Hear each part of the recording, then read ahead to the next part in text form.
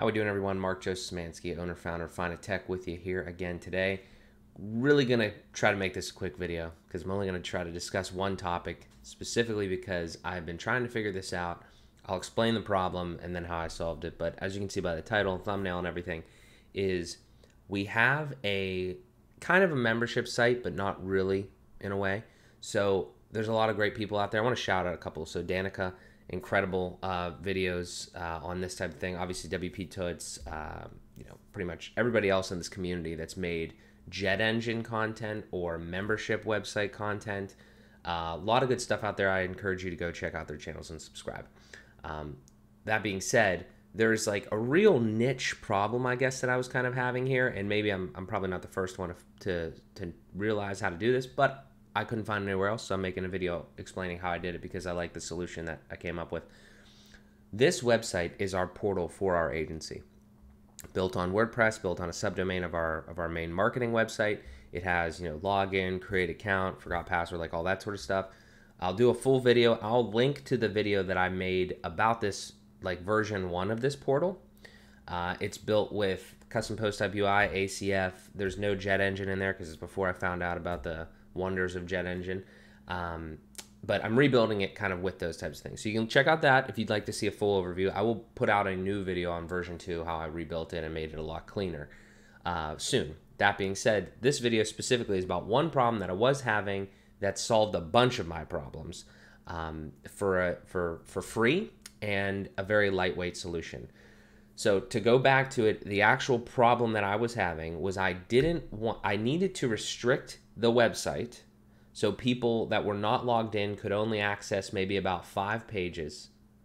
But at the same time, I did not want to use another plugin.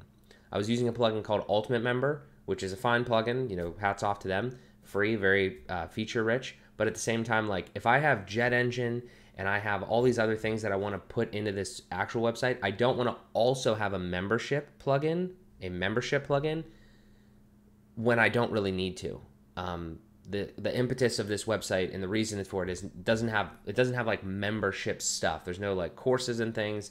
It's not really like that. So maybe one day it will be, but it's not like that right now.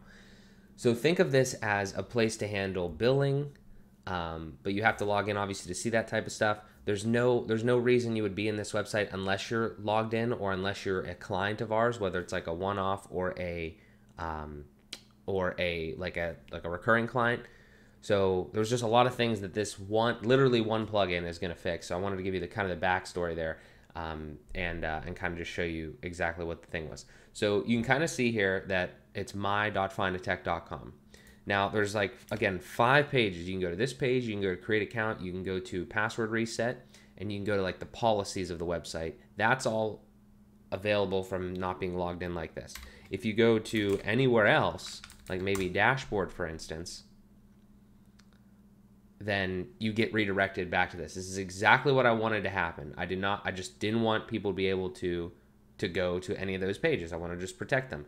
But unfortunately, I thought Jet Engine was going to be able to do that because it has dynamic visibility. I tried um, dynamic visibility. It's widgets and sections. It's great. I tried D um, Dynamic OO, the different uh, you know different plugin. I have a pro version of that. That didn't really work. And then I also tried um, uh, the profile builder in Jet Engine, and none of those really did exactly what I wanted. I'd like to experiment more with profile builder, but none of that really did what I was talking about.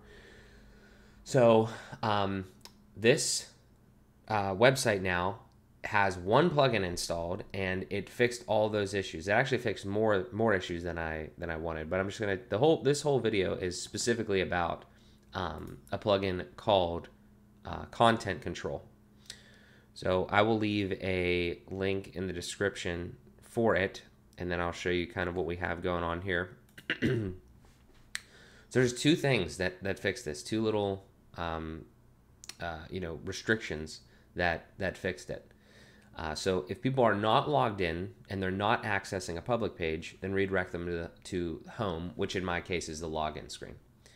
And then if they are logged in and they're accessing home, create account, or, or password reset, then redirect them to the dashboard, which is like the not not this dashboard, but this you know this front end or um, uh, you know front end dashboard of you know what they can see and all that sort of stuff. So really, I'll like I said, I'll leave a link to this content control plugin, and then I'll just kind of show you real quickly what these are. So if you're so the idea here, this is probably the big one for you.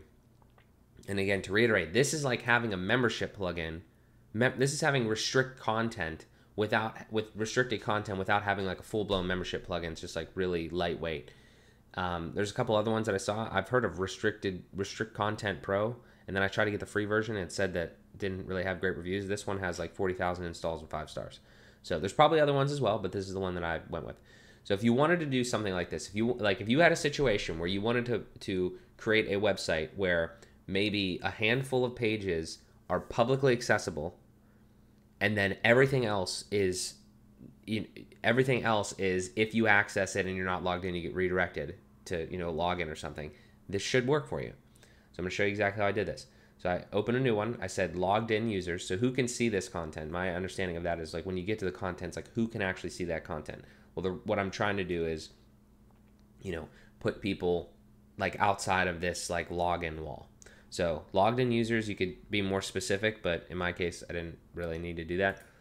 Um, protection, how do you want to protect them? So you can do a custom message or a redirect. Custom message would be like, you know, I think something comes up kind of in the on the screen or in the template, or maybe it's just a white screen. I don't know. Experiment with that yourself, but I, I don't know why you would want to necessarily do that unless you had a different use case. So for my case, definitely redirect. And then where? So login and back. I like that concept, but the problem with WordPress is I never, ever, ever want to show anybody the actual login screen because I just I think it's a little it's a little janky looking that like they go to this thing that says warp. I know you can change it and mess with it and everything like that, but I just don't want to use that screen because then you start getting into WP admin stuff and I don't want to do that.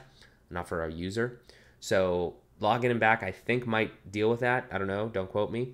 It would be really nice if you could still keep the, the one thing from this um, from this solution that it doesn't do is if you go to dashboard and you're not logged in, let's say you go slash dashboard, then you it's going to redirect you to the login screen. It's not going to take you back to the page. Dashboard's a bad example, but if you were in a different page, it's not going to take you right back because that it just doesn't have that um, that uh, redirect like I don't know what it be like a query or that piece of the URL. It doesn't have like redirect back to that. Sorry, doesn't matter. I mean, figure it out if you want, but me, for, to me, it's not that important. So, um, so you have home page, which in my case would be where I wanted to go, the login page, or if you had a custom login, like a slash login, you can go custom URL. And the last thing is the content. So this is really like your actual, um, I, I don't know, you're not not your formula, but your your your restriction. So it's like all that, like if they are, um, like I said, not logged in and not accessing a public page, so they have all these different options in here, like posts, pages, and all that sort of stuff. Like you can pretty much do almost any piece of thing. So they're not logged in, and then the page is not one of these pages, like home, cart, da da da da. So all of these are publicly accessible. Is, is what I'm is what ultimately this says. All of those are public pages. So if it's not, they're not logged in, and it's not a public page, then they get redirected to the home screen to prompt them to log in. And then I'll quickly show you this one is logged in and accessing home, create account, or password. So the other thing is like if they are logged in, you don't want them to necessarily go back to those pages. There's ways around this, and I use dynamic visibility to just say you're already logged in or whatever. But this is just a little cleaner. So if you're logged in and you try to go to the home page, like the login page, the create account or password, then it's like who can see this? Logged out users can see that. The protection is it redirects them back to the the dashboard because they're already logged in, and then the protection is is it you know, it's they're logged in and they're accessing, they are accessing one of these pages, home, password reset, or create account.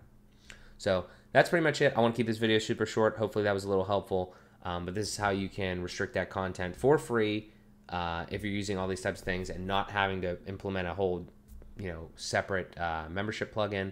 I hope this helps. More content coming on this pro- this uh, portal soon because I'm very very proud of it and there's a lot of cool stuff that we've uh, jam packed in here to make it a really good experience for our clients. Thank you so much for watching, and I will talk to you guys in the next one.